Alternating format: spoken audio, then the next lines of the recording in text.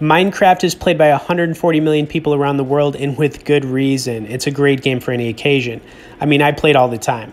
Unfortunately, you probably won't be able to play at school or work, and if you find yourself IP banned from a server, you're going to have trouble playing from home too, which can be extremely unfair.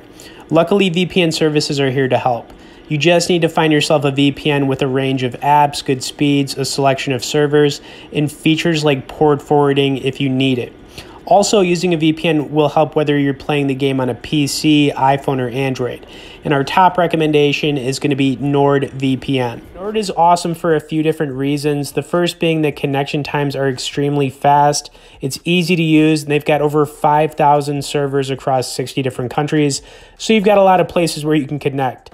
Now, they also have military grade encryption on here. They've got a tunneling feature which makes it impossible for anyone to pinpoint you. And you can use one account across multiple devices. Now, I do need to point out this is not free, guys. It's like $11 a month, but it's totally worth it. Of course, if you guys do want to get started here, learn more about Nord as I'm going over them, I'll have some bonus sign up and resource links in the description. Okay, the next thing I want to do is actually go over how Nord works, and it's really cool. The software is very easy to use, whether you're using it on a desktop or your phone. Now, I'm going to be showing you the desktop version of it, but honestly, it looks exactly the same as when you're using it on your mobile phone. Now, right now I'm connected to Canada, which is the only reason I could actually pull up Stake. Otherwise, it would have said restricted in your country. Um, and you can see that you've got your built-in map feature here. I'm actually going to do another quick connection. We'll go with Australia. Now, when you connect, the connection times are lightning fast. And another thing about using a paid VPN is that a lot of the free ones disconnect frequently and they just don't work. Now, Nord is top rated. I mean, it's probably like top three out of all the VPNs out there.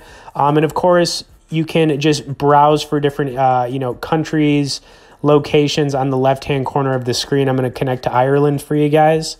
So yeah, we're gonna go with that Ireland connection, and um, yeah, we're connected right away. Now all the blue dots on the map is basically everywhere you can connect, and they're the only ones that have this cool built-in map feature. But the bottom line here, guys, if you play a lot of Minecraft and you find yourself not being able to play it at school or work, or maybe you had an IP ban from a server, you know, using Nord will take care of that problem instantly. Another thing I need to point out about using VPNs, they are becoming more essential in today's world, especially for getting more privacy and security, whether you're doing stuff on your computer or phone.